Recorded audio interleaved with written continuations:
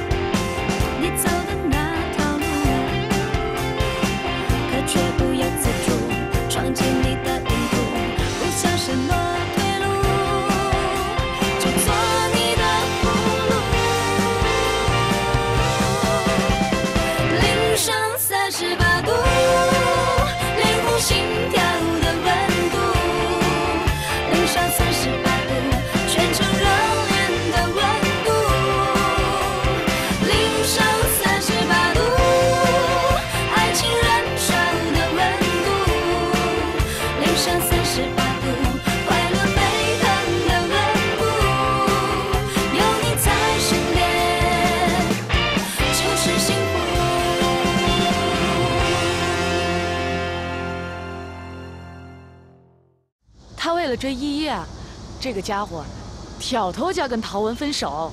我觉得这个孩子还是很不错的，肯吃苦，有上进心，放着少爷的生活不过，一定要到基层来锻炼，挺难得的。你什么意思呀？不会是想撮合李默跟我闺女吧？起码是不是比那些相亲网站啊，还有陶文、孙悦介绍的男人靠谱吧？那有什么用呢？啊，我们依依对那个李默一点感觉都没有，何况中间还有个陶文。陶文跟李默肯定没戏，那平时吃啊、穿啊都可以让，这男人和婚姻哪能让啊？是，你就没让，而且这点做的还挺好。是不是我们都应该向你学习啊？黄月平，我已经跟你说过很多次了，今天我就再跟你说一次。想当初是你跟老杨离婚以后，我才接受杨长河的。行了行了行了，这说哪儿去了？不说依依的事儿吗？就是呀，扯什么呀扯？我觉得依依现在还小，很多事情吧考虑的还都不全面。那你说找男人图什么呀？不就是图他对女人好吗？然后才是事业啊、身份啊。你说李默哪点不占呢？是不是？行，只要他不跟熊蛋，怎么都行。莫哥，莫哥，好消息，好消息！什么好消息？你订大功率设备已经到位了，看来这次你肯定稳操胜券。拜拜。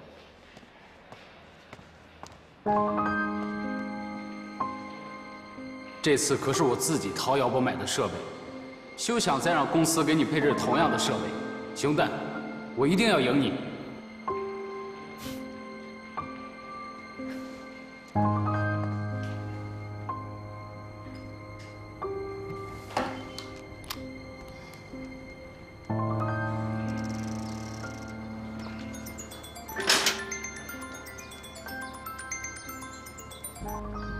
喂，于总，林默，你一会儿能到我这儿来拿个东西，然后帮我送到一个地方吗？那个地址呢？一会儿我微信给你传过去。我都已经到家了，而且换完衣服了。如果要是时间紧张的话，你就不用穿工服了啊，就怎么方便怎么来。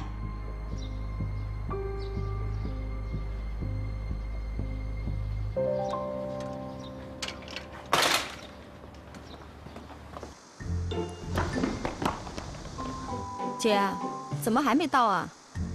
这于倩行不行啊？不是忽悠我们吧？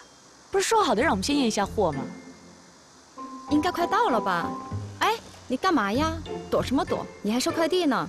我收。是啊，当然啊，你不收谁收？走走走走。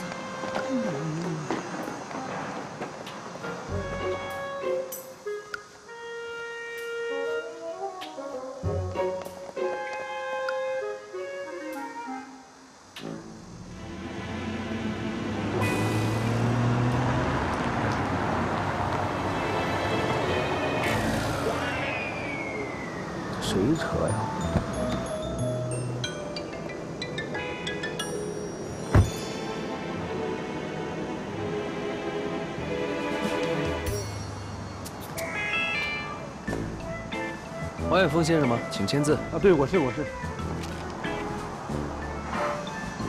你不用穿快递服啊？哦，这是急件。其实我已经下班了，您不会投诉我吧？啊，不会不会不会，绝对不会。啊，我跟您开玩笑的。你很幽默呀。您这个地方好像是武馆啊？啊，对呀。呃，你有兴趣学吗？我给你打折。哦，我平常自己就练一练。啊，那咱们回头可以切磋切磋嘛。行，没问题。那我以后就打这电话找您。不对，这个是我的电话吧？好的，那我先走了。好，好，好。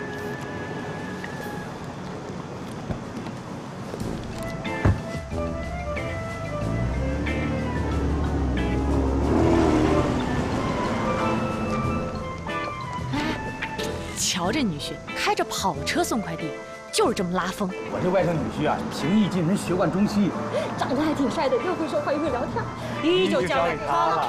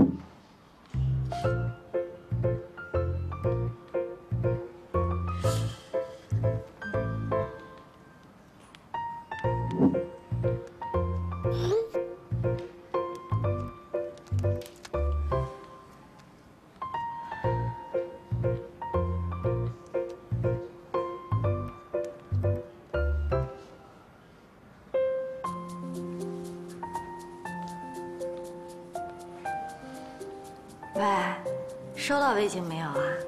刚才有点忙，没听见。什么事儿？嗯，没事啊，我就是提醒你吃饭。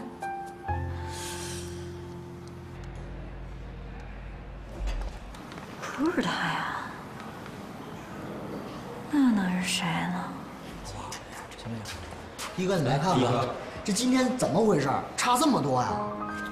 我听说他们那边又弄了不少高科技，上次给咱们的电脑，咱们也都不会用了。一哥，我看咱们得找外援。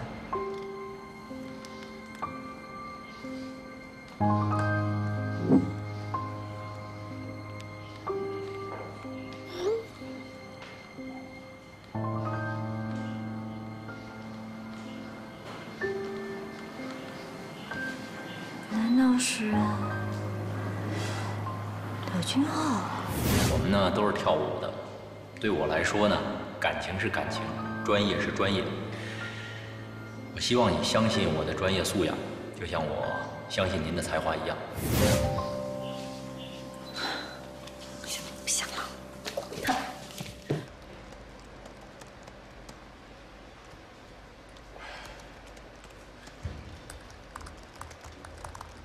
陶文，对不起，可惜爱情不能复制，不能转移，也不能分享，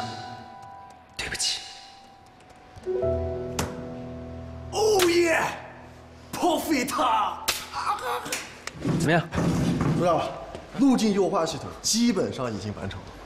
太好了，辛苦你们了。哎，哎呦我去，这几点了？你看我肚子饿，都忘吃饭了。那你想吃什么？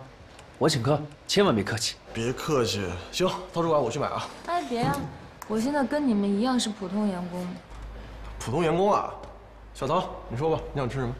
还是我去吧。我希望等我回来，听到你把软件搞定的好消息。大晚上的让一个美女去不太好吧？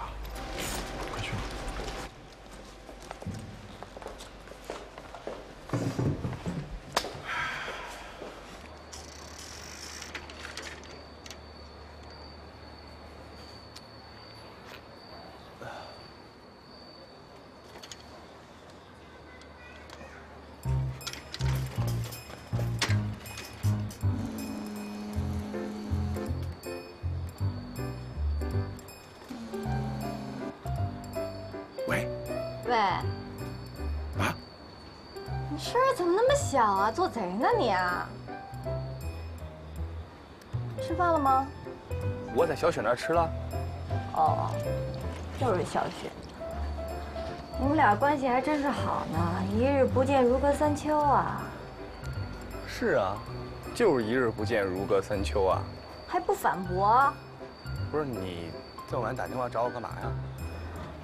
哎，你还记得那柳俊浩吗？就是上次我相亲被我推水里那个，记得呀。怎么了？他好像对我还不死心哎。啊？是吗？我我问你个事儿啊，你还有别的微信号吗？我怎么可能有另外一微信号啊？我一个还玩不明白呢，我还弄两个。那这神秘人还真是柳俊浩啊。什么神秘人啊？哎，就有一个人莫名其妙的老给我发微信，还指导我舞蹈上的编排什么的，就像蝙蝠侠一样。有时候生活中是一面，在人有危难的时候他有另一面。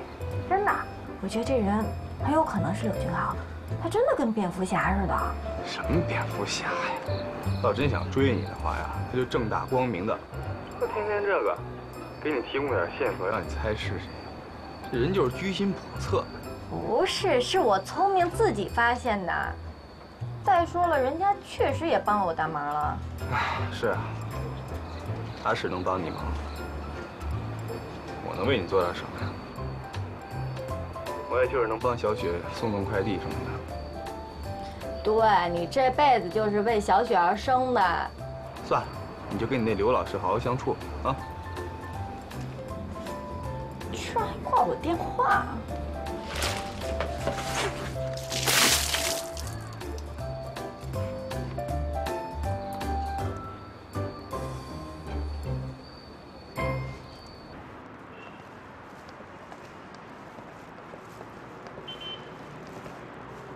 如果你不介意的话，我希望多带贝贝出去玩玩，我想多陪陪她。李默，我还是不想放弃你。可是很难，你有多难，我就有多难。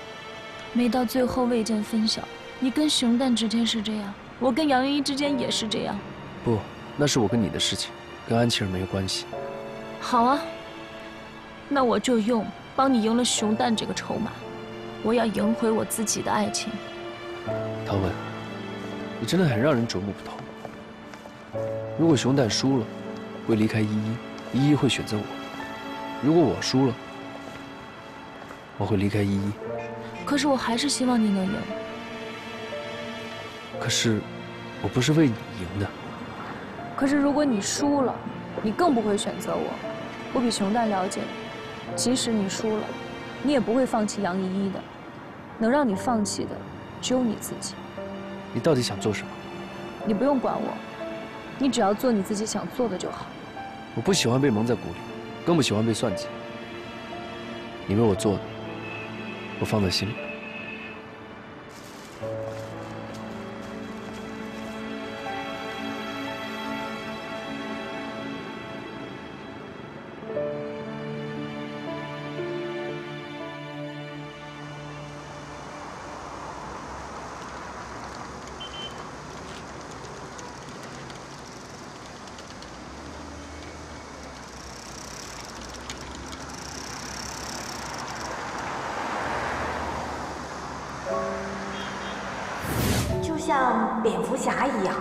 觉得这人很有可能是柳俊浩。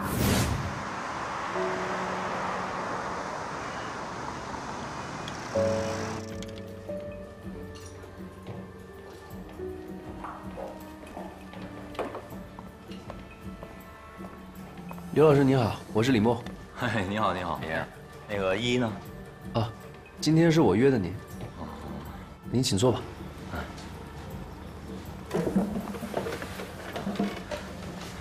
李先生，您在电话里面跟我说，说是依依有事找我帮忙，呃，什么情况？这次是想麻烦您帮依依编一支舞蹈，就是这次这个舞蹈比赛。我知道您是舞蹈大赛的评委之一，我也知道这不太符合规矩，但是我想什么事情都有例外吧。嗯。啊，对了，这是我的一点心意，您随便填个数字吧。李先生，我跟依依呢交往也不是特别的深，但是在这个交往的过程当中呢，我对她的人品多少还是有一点了解的。我觉得依依呢应该不会喜欢用这种方式对待她热爱的舞蹈。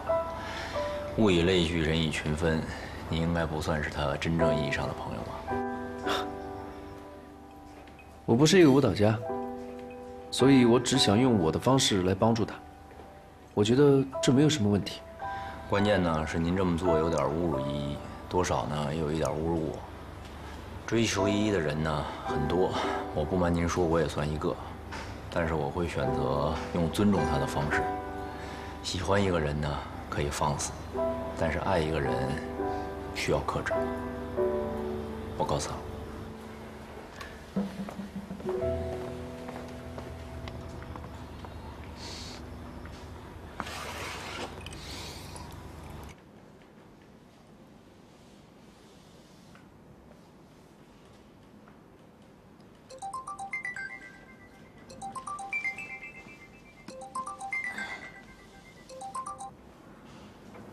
雪，依依姐姐，那个你跟熊蛋哥哥是不是吵架了？没有啊，他跟你告状了？啊，不是不是，我就是看熊蛋哥哥他情绪好像不是很好。我哪影响得了他心情啊？依依姐姐，你难道不知道你是熊蛋哥哥的晴雨表吗？你才是他的晴雨表。什么？没没没没有啊！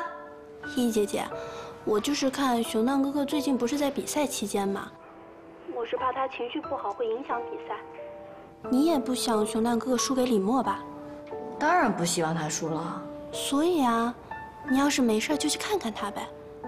啊，对了，他手好像受伤了。啊？严重吗？看吧，你还是很关心他的。你不就是想让我去看他吗？我可是给你面子啊。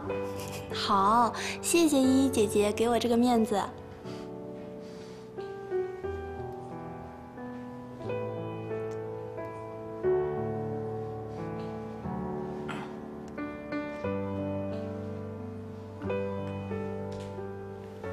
妈，那个晚上我有点事儿，你能不能去照顾一下外公啊？我忙着呢。这样吧，我叫你舅妈过去住两天。你呀，平时上班也忙，咱们轮流照顾你外公。行行行，你们谁去都行。哎，好嘞。杨老师，刘老师，您怎么来了？我是不是打扰您了？哦，没有没有没有，您过来一定是有事儿嘛，对吧？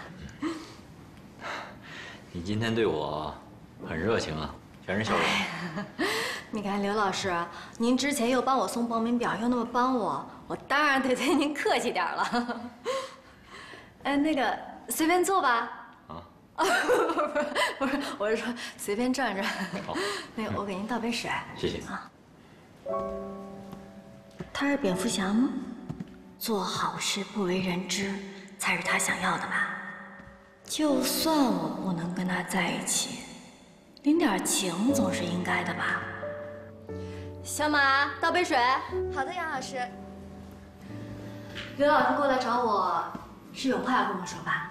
对，杨老师，你想让我帮你吗？他承认他就是发微信的神秘人了。看哪种帮了？看会不会是那种让刘老师为难的方式啊？我是有一些为难的，不过要是帮你，有一些原则是可以放弃的。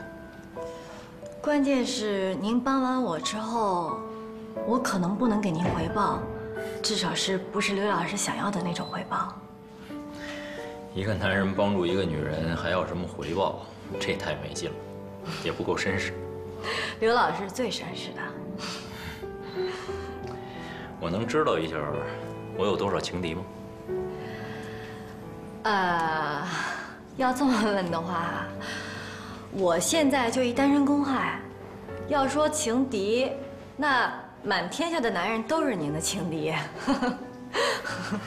单身公害这词儿挺好的，我还是第一次听说有一女的形容自己是单身公害。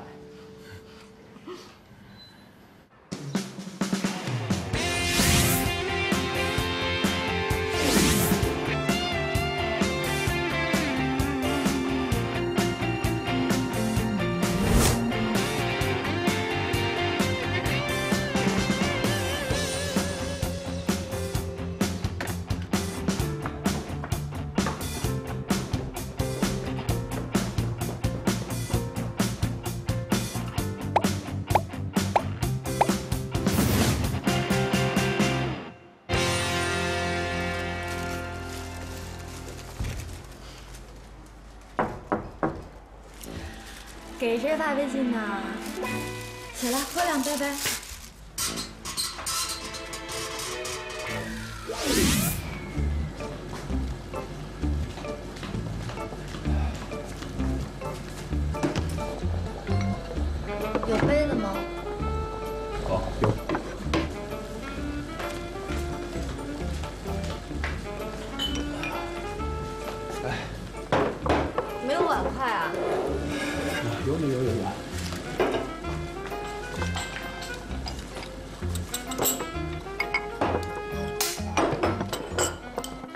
帮忙调一下料呗，我不会。谢谢啊。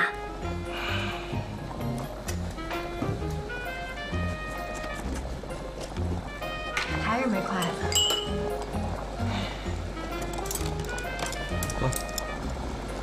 谢谢。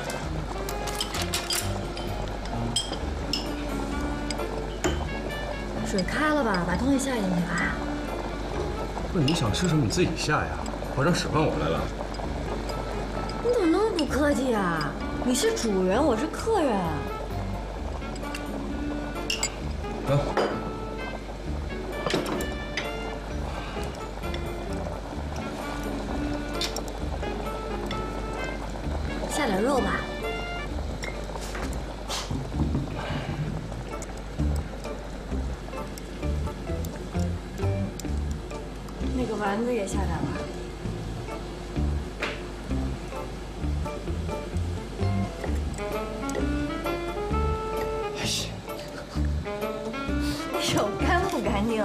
我刚洗菜的时候都洗过了，凑合吃啊。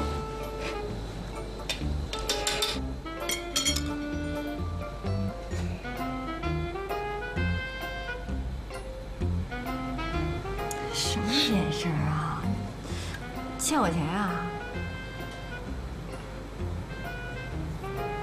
不是，是我欠你钱。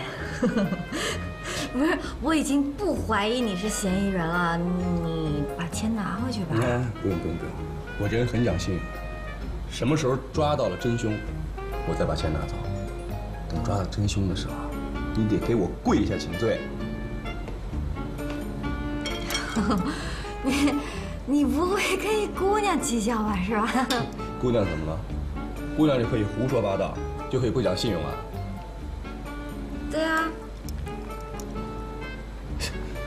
有理。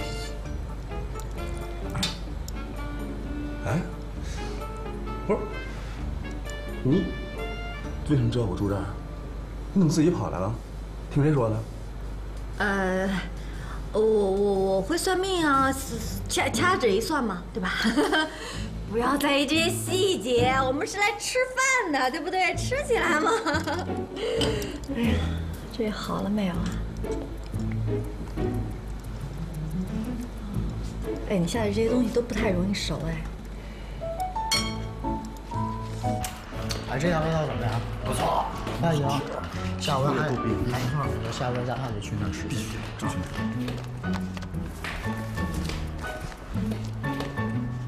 非让我下那么多，你看看看看，都老了，你也不吃，赶紧赶紧。你怎么那么碎叨啊？那你中午怎么都不回来啊？让人也吃不完啊？估计上哪玩去了吧？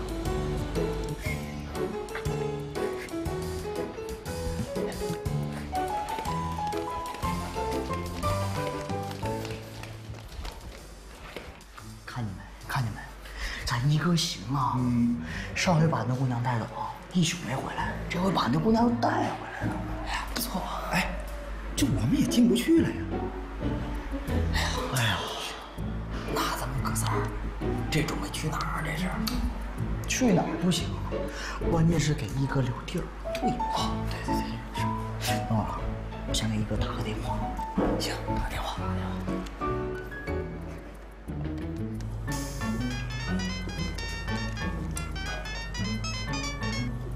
喂，哎，正找你呢，赶紧回来吃火锅。一哥，啊，我跟你说一声，晚上我们不回去了啊。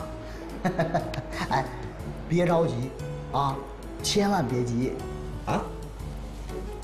着急？我着什么急啊？啊，我挂了啊，一个。嘿，这帮人，怎么？没事儿，咱们说今晚不回来了。啊？嗯。嗯。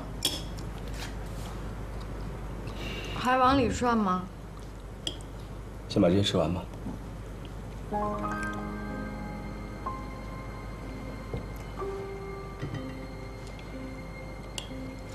别说的那么伟大，一句话，到底爱不爱杨依依？我只是想要依依有选择权。你这样，完全剥夺了她选择别人的机会。没有真正的公平竞争，特别是在感情上。怎么了？发什么呆啊？没什么。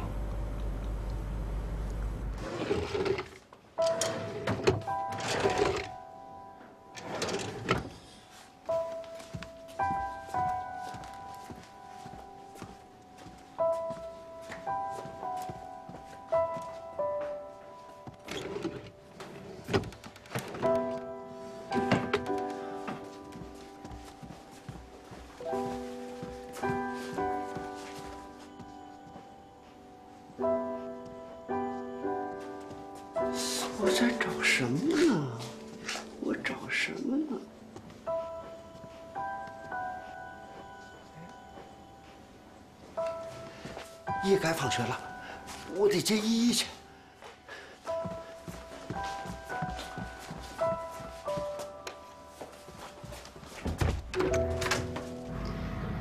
我告诉你啊，现在合同期还没满呢，你跑不了。你放心吧，我不会轻易离开的。其实，我特别羡慕小雪。她虽然有病，不能想去哪儿就去哪儿，但她有梦想。她知道自己想干什么，所以你喜欢她。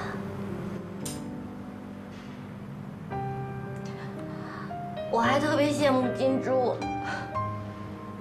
你对他们都特别好，就是对我不好。你羡慕他们干什么呀？其实他们特羡慕你，真的。追求你的，全都是高富帅的男生。有什么用啊？我又不喜欢。他不爱你吗？都。爱的是他们自己。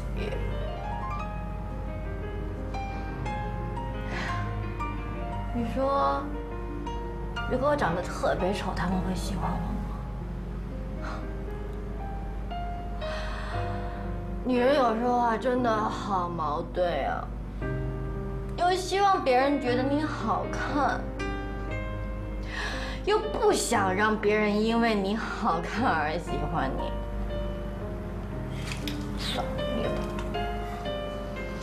行了行了，别说了啊，都喝多了，别喝了，给你倒杯水。哎呀！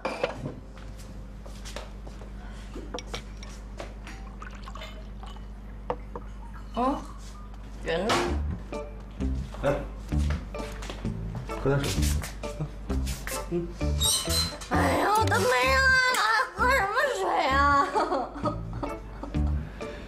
别开玩笑了，行吗？你怎么可能没人爱呢？你说你为什么对别人那么好，就是对我不好呢？我怎么对你不好了？你刚才火锅帮我下菜的时候，你还你还白眼了。我那是不想对你百依百顺的。如果把你宠坏了，这样你出去外面谁都会讨厌你的。那你告诉我，我怎么做才算对你好？你要什么都听我的，是什么都得惯着我、宠着我。你怎么不答应啊？行行行，啊，我答应你，答应你。我跟你说，涛哥已经不理我了，孙烨也跟人走了，我现在身边没有人了。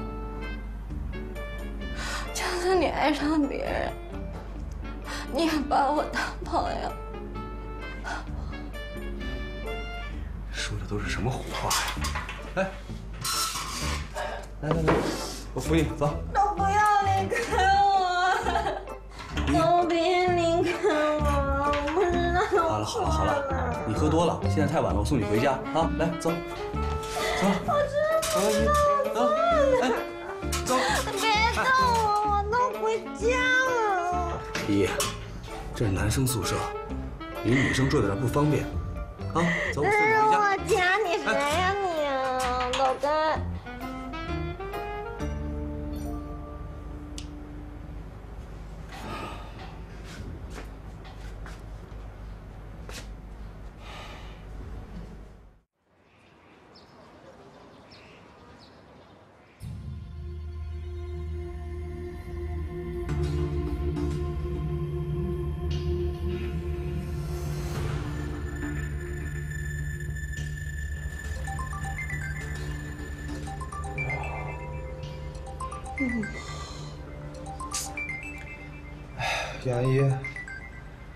电话响了。哎哎呀哎呀。哎杨姨来接电话。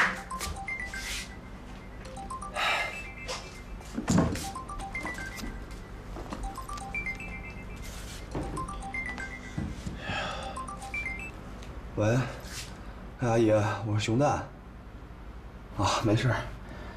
依依昨天在我这儿呢，没发生什么，有点喝多了。啊？外公怎么了？医院？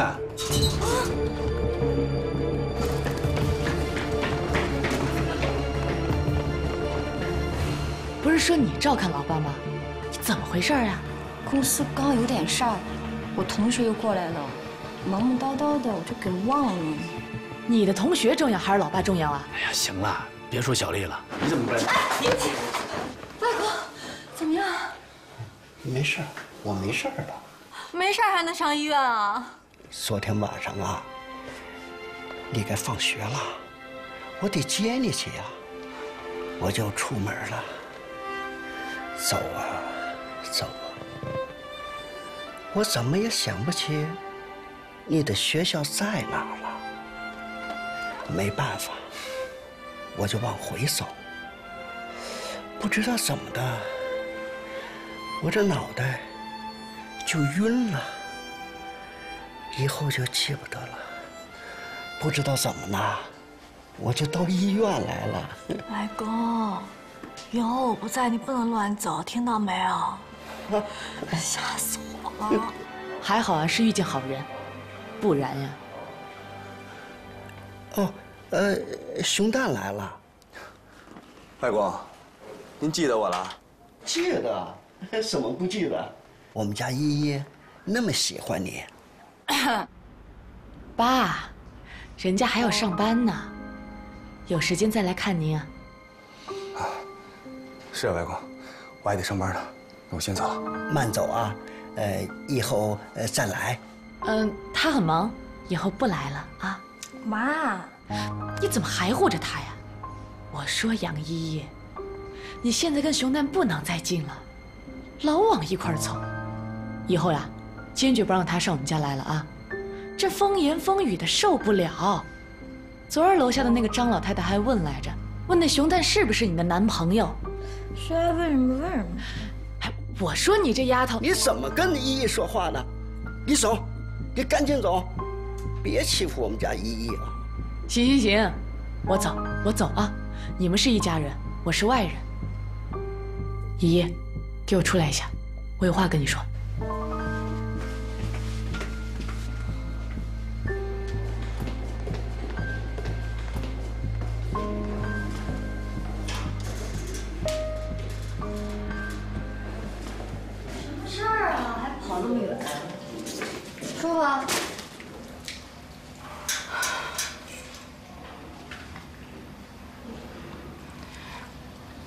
你外公的病情恶化了，啊？是你爸爸这么说的。我问我爸去。哎呀，我听了之后，我心里特别的难过。哎呀，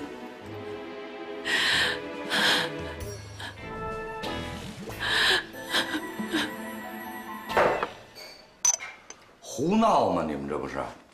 你们怎么能够拿老爷子撒谎啊？哎呀，这不是撒谎。老爷子的病情虽然没有恶化，但我们都清楚啊，他清醒的时间确实在减少。你你说老爷子是不是希望咱们依依有个好归宿？他最大的心愿是不是希望咱们依依幸福？是，老爷子是希望依依幸福哦。那你们就骗依依，是吧？姐夫啊，这个怎么能叫骗呢？你说，现在有这么好的规矩摆在这，我们怎么能让依依挑错人呢？还有啊，依依最近啊，老是两头三头往外面跑去喝酒的，每次和那个熊蛋都在一起。你说你作为一个父亲，就真的不担心吗？依依不是小孩子了，他们都是大人了，做事自有分寸。有什么分寸呀？反正啊，咱们不能让依依落在他手里。不是我就不明白了，依依怎么选择，咱们先不说，你们凭什么就觉得熊蛋就一定要差呢？这不是理所当然的吗？那个，依依的另一个追求者是市美快递的唯一继承人。对啊，姐夫，我觉得他才和明配呢，这才叫郎才女貌。意思我明白。我作为父亲啊，我当然也希望依依有一个好的归宿，对吧？可是话又说回来了，这么长时间，熊蛋这小伙子的为人处事，我一直看在眼里，心肠好，有担当，对吧？就咱们依依那臭脾气，我觉得要找着熊蛋还真挺合适的。反正他们两个人如果要是真心真意，我没有意见。贫贱夫妻百事哀，你真希望咱们依依以后为了那些柴米油盐的事吃苦受罪是吧？不，你说这话是不是有别的目的啊？我听说你那武馆又不行了，是不是？不，怎么就不行了呢？姐夫啊，你说我们今天来了哈，也不是逼依依做出什么选择，我们俩也是希望依依有一个好的心态，重新面对感情。不过啊，依依啊，现在缺少动力。